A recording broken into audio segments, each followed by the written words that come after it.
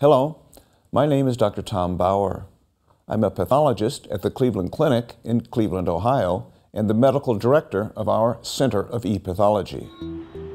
Our Department of Pathology is one of the largest in the United States.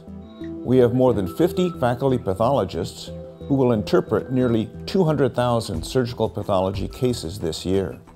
This incredible volume provides our pathologists with the experience to diagnose rare and difficult lesions. The emergence of digital pathology is helping to provide global access to expert pathologists and will ultimately improve patient care worldwide. Over the past few years, we have validated the use of digital whole slide images to interpret surgical pathology cases. Glass microscope slides are first scanned by the client, and our pathologists at Cleveland Clinic navigate those images using a web-based application.